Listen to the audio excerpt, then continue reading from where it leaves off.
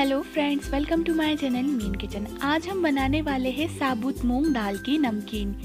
इसे बनाना बहुत ही सिंपल है और ये बहुत ही अच्छी बनती है।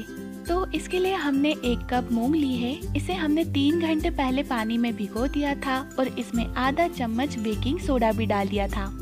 और अभी ये काफ़ी अच्छे से फूल चुकी है। हमें क्या करना है कि इसका पूरा पानी नितार देना है और इसे अब एक सूखे कपड़े पर फैला देना है। इन मूंग में से सारा पानी सूख जाए और इसका मॉइस्चर खत्म हो जाए, तब तक हमें इसे कपड़े में फैला के सुखा लेना है। सो इसे फैलाकर पूरे 10 मिनट हो गए हैं और इसका पानी अच्छे से सूख चुका है।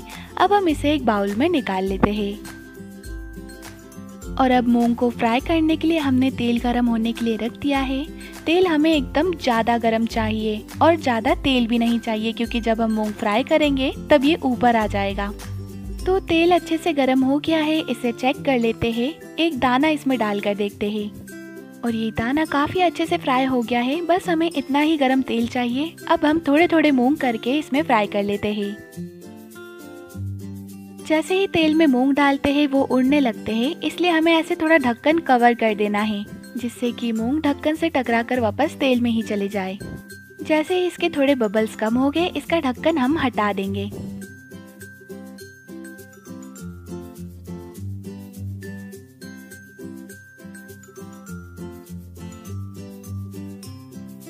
सो बस बबल्स कम हो गए हैं, इसका ढक्कन हटा देते हैं, क्योंकि अब मूंग नहीं उड़ेंगे।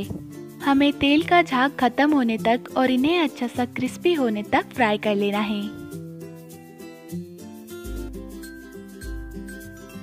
तो तेल का झाग पूरा खत्म हो गया है, और आप चाहे तो मूंग का एक दाना ऐसे चेक करके भी देख सकते हैं कि ये क्रिस्पी हुआ है या नहीं। तो मूंग काफ़ी अच्छे से फ्राई हो गई है और क्रिस्पी भी हो गई है, इन्हें तेल में से निकाल लेते हैं।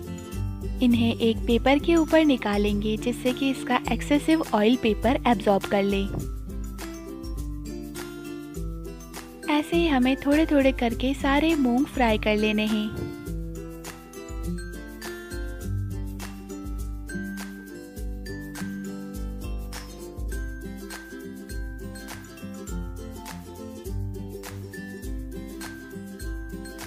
तो ये मूंग भी फ्राई हो गई है, इन्हें भी तेल में से निकाल लेते हैं।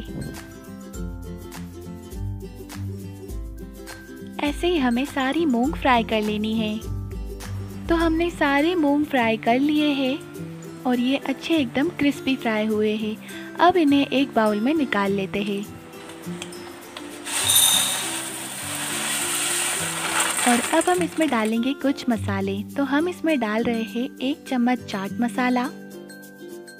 थोड़ी सी लाल मिर्च और स्वाद अनुसार नमक। अब इन्हें अच्छे से मिक्स कर लेना है।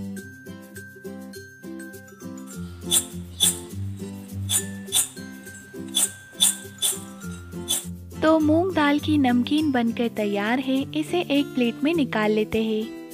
इस मूंग दाल को एयर टाइट कंटेनर में रखकर दो से तीन महीने तक खाया जा सकता है।